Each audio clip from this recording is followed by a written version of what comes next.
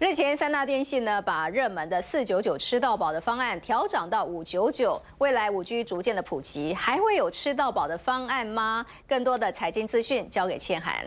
好，之前呢，如果你没有跟上最后一波这个四九九吃到饱的列车啊，这个资费每个月缴的金额又来变高了。但是这个吃到饱的方案，不论是四 G 还是五 G，对于整个市场上面来讲，其实我们用的还蛮习惯的。你说如果未来呢要来取消这样的吃到饱，大家能够接受吗？多多的来留言跟我们来做互动。因为呢，我们先来讲一下这个总体，如果是以行动装置，台湾每个月大家的使用用量的话，大概是落在二十六点六 G。那在五 G 的部分呢，远传有公布他们的使用量是来到了六十三 GB。有电信业者私下表示啊，其实重度使用者，不管是用四 G 还是五 G 的民众呢，也就是每个月上网超过一百 GB 的，就占了整体的百分之十，大概是一成左右。所以现在目前三大电信商来说，五 G 的吃到保资费大概都是落在一三九九元每个月。如果你还扣掉了很多的购机补助的话，其实这每一天的金额是不到四十五块钱的，比你到超商买一杯咖啡还要更便宜。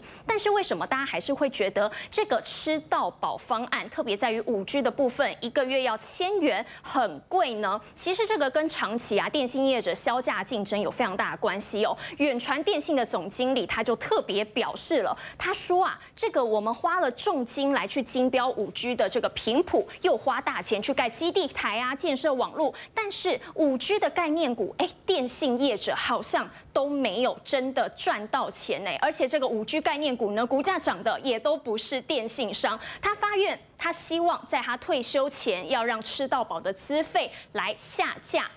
可是这个抛出下架的震撼弹，其他的四间电信商他们要怎么样来看待这个吃到饱的资费后续呢？其实如果以龙头中华电信他说啊，他们目前有提供非常多元的资费，那不会评论。下架的这件事情，台湾大哥大也表示说，现在目前用吃到饱的客户的确占了大多数，有超过七成的用户呢都是选择吃到饱的，所以会不会下架，还是做一些调整，要来看市场上面的状况。事实上，如果我们跟南韩相比的话，五 G 的吃到饱，台湾大概是在一三九九，但是在南韩呢就要提高到大概两到三千块钱了。亚太说啊，其实如果你要朝向分级付费的话，这样子是比较。合理的。那台湾之星也说啊，虽然没有会下架的疑虑，但是呢，台湾的资费真的够便宜了。市场上面普遍认为，其实国内呢，我们就有五家电信，过度竞争的压力之下呢，如果你有一家它不提供吃到饱的话，用户就会 N P 转到其他的电信，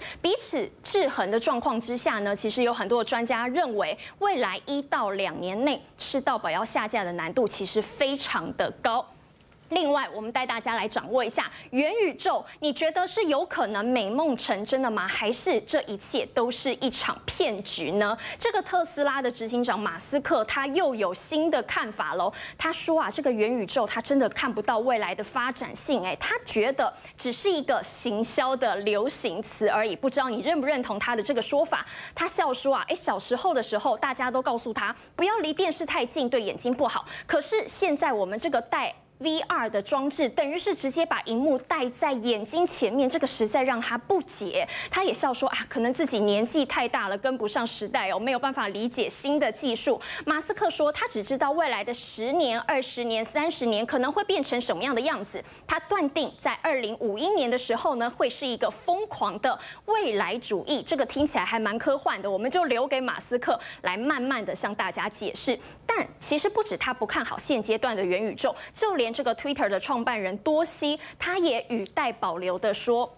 他觉得元宇宙还有现在炒得很火烫的 Web 三点零，都是风险投资公司的一个玩具，也就是我们现在。之前有经历过 Web 一点零，也就是最单纯的网络啊上网时代，进阶版就是我们现在正处在的 Web 二点零，也就是有一些科技的巨破，包含像是脸书、亚马逊、Google 还有 Twitter 这些科技的大头呢，他们垄断了我们的社交网络，但多西跟马斯克提到的 Web 三点零，最主要是要来形容像去中心化、区块链这类新形态的网络模式。所以包含像是哪些呢？虚拟货币就算 Web 三点零的一环，还有最近很夯的 NFT 都是属于这类的范畴。但是元宇宙到底是炒话题，还是未来真的有可能实现的呢？大陆企业不管，先注册起来再说。因为截至目前啊，大陆企业的。